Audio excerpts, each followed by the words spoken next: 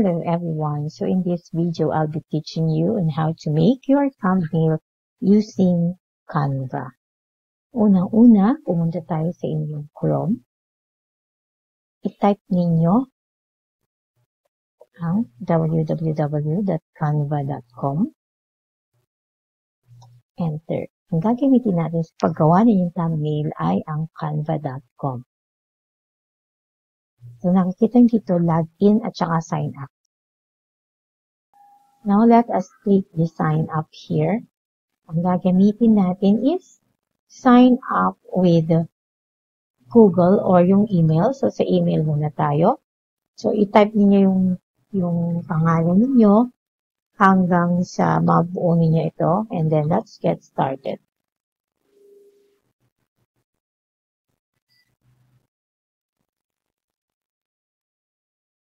So, ang ilalagay ninyong password ay yung password ninyo dito sa inyong Canva. Pag nalagay nyo na po yun, etong magpapakita, what will you be using Canva for? So, ikaw ba isang teacher, isang student? Yan, pwede kang pipili dito. Pwede naman siguro yung personal. So, you're here to make anything and everything. So, i-click-click natin yung personal na yan. And then, Okay, so let us try this. And then maybe later na lang po tayo. Kasi pwede pa naman po siyang gamitin. Ayan. So, dito na tayo, popular for personal use. Pwede kasi kayo dito gumawa ng inyong mga poster, ng invitation. You can also make your presentation here. And then your Facebook cover. Ayan. Kung free trial po ito, uh, pwede pa rin kasi it's good for 30 days. Marami na kayong magagawa rito. Yan. Kung hindi, kung gusto nyo pa po ng iba, siguro you can uh, use the other other accounts that you have. Ako kasi it's free yung binigay nila na account namin kasi educators po kami. So, pag nakita natin for personal use, so hanapin na natin kung Saan natin gagamitin? Saan ba? Social media? Social media ba? And so, magpapakita siya, ganito pag clinic mo. Ayan. Pero kung gusto niyo naman na ma-access niyo lahat, except for the free, meron kasi dito yung, nakita yung crown, may mga free dito. Ayan, free na yan. Free mong gamitin yan. Magaganda po yung design nila dito. And then, punta na tayo sa ating home. You click home. And pagpasok niya dito sa home, you click your create a design. Actually, you can explore this. Maraming pagpipilian dito. You can also click the template here. Okay, yung mga nandiyan na nakalabel. But this time, let's click create a design. Nandito na yung mga pwede ninyong pagpipili ang design. Okay? So, Since wala dyan, we can search the YouTube thumbnail. Yan, enter natin. Ang marami. May music YouTube thumbnail, may pang food YouTube thumbnail, may beauty and travel, and so on. And then, after clicking that, pupunta kayo dito. So, marami siyang templates for you. Ngayon, pipili ka na ng template na gusto mo. We have here tutorial, YouTube thumbnail, may pang beauty, may pang food. And most of these are free. Ayan, oh, may free. Ayan, free. Since thumbnail yung gagamitin natin, kukuha tayo ng pang thumbnail natin. Okay, so pipili ka dyan. So, ang pipiliin mo, yung hindi siya video, kasi meron din mga videos dito na pwedeng gamitin natin as small presentation din natin. Ayan. So, for example, kukuha tayo ng isa. Sige, pipili tayo. Ano kaya maganda dito? Yan. So, makikita yung may mga free. Yan yung ating gagamitin. So, I like this one. Let's try this. Ayan. So, tignan niyo walang watermark yung ibang free dito. Pero yung mga iba kasi, may watermark siya. So, kapag walang water, watermark, so, safe pa rin tayo. We can also filter these or put effects. So, click mo lang effects doon. Ayan, pwede yung explore yan. Pwede rin natin, pwede rin tayo mag-filter. So, sa filter, kung gusto mo lang na ganyang color, yan, pwede. I-adjust natin yung intensity. Gusto mo ng ganyan, yung super clear there, yan, intensity rin. Meron din tayo dito pang um, black and white or gray. Yan, for drama and so on. Okay, so I'll be choosing this. Yan ang pipili natin. Ito na.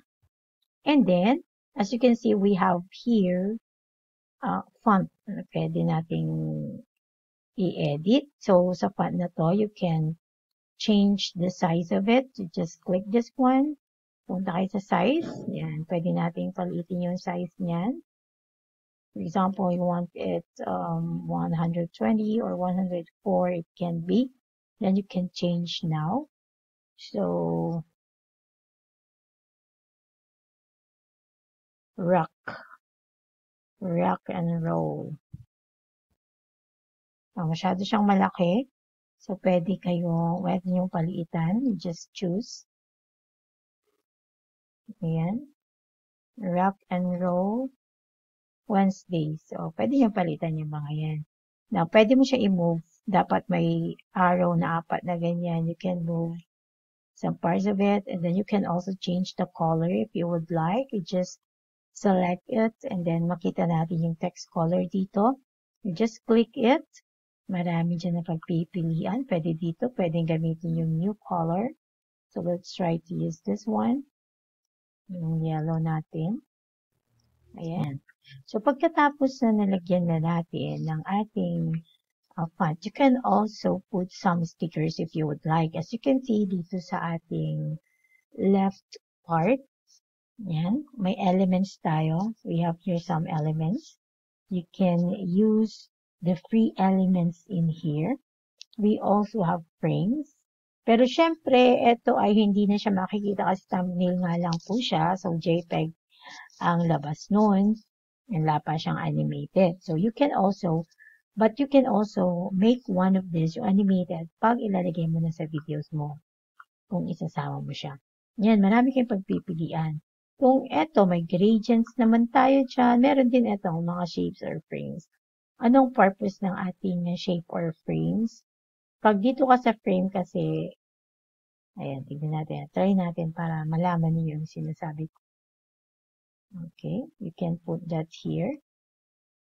Tapos, uh, pwede kayong maglagay dito ng, magda-drag kayo dito ng picture So, pag nakaselect na yan, for example, itan lang natin kasi masyado siyang ano. Yan. Dito kayo sa photos, may mga suggested pictures din dito. You can also click it. Ayan. Pupunta natin doon. O, ganyan na yung labas. Ipinunta natin. Now, kung gusto mo naman na mag, uh, tapos pag i-adjust mo doon na lang sa site, kung gusto mo naman na yung, yung picture mo, pwede maglagay ka dito. Pupunta tayo sa uploads. Dito pa rin sa left. Just click the uploads. May images, may videos, may audio. Since wala pa tayong na-upload dyan, so you just click the upload media. And then, click mo na yung device mo. Pupunta na dun. Hanapin mo na kung ano yung i-restore mo dyan o ilalagay mo. That's the purpose of it. Next, we also have here the text. Yan, maraming mga suggested yan. Kung gusto nyo pang dagdagan o palitan yung Rock and Roll Wednesdays ninyo, ayan, pwede. So, kunwari ito, click natin. Pag clinic mo, once na clinic mo, pupunta na siya dyan. You can change now. Okay, so lagyan natin, let's have, let's have some fun. Let's have some fun. Pwede nyo palakihin yun i-adjust nyo po siya. Kung masyadong malaki, liitan natin. So, select rin natin. Then, liitan natin yung ating mga, ang ating font size. And then na, let's have some fun. And then, tanggalin nyo na rin yung to the uh, New Year dyan kung hindi mo siya gusto. Okay, so that's it. O, tignan nyo, ang ganda. So, eto lang naman ang um, Canva, gamit ng Canva. So, it's just your creativity and artistry na lang po ang kailangan para magkaroon tayo ng napakagandang thumbnail. I hope you've learned something today sa paggawa ng ating thumbnail. And of course, bago tayo mag-end, ganito ang pagda-download. Nakita yung download dito, just click it. And then, select mo dito, yung file type mo is JPEG lang kasi ayaw naman ni, ni YouTube ng napakalaking um, size ng ating image. So, ito lang, JPEG. And then, let's download it. Pag nagda-download na yan, pupunta na siya sa downloads ninyo. Nandito na. So, kapag clinic natin yan, ayan na. Meron ka ng napakagandang thumbnail na pwede mo nang gamitin sa iyong YouTube channel. So, thank you, thank you so much. Susunod naman, isuturo ko kayong gumawa ng inyong YouTube outro or intro using the Canva. Thank you and have a blessed day.